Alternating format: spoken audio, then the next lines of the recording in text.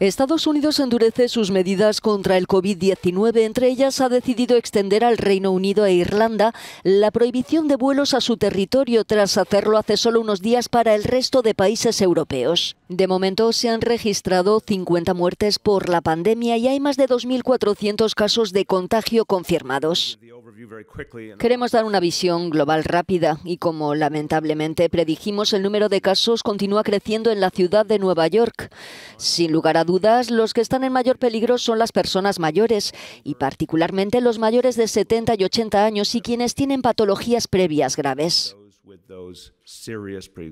Personal médico de la Casa Blanca tomó este sábado a los profesionales de los medios de comunicación la temperatura antes de participar en una rueda de prensa del presidente estadounidense Donald Trump, quien ha anunciado que ha dado negativo al COVID-19.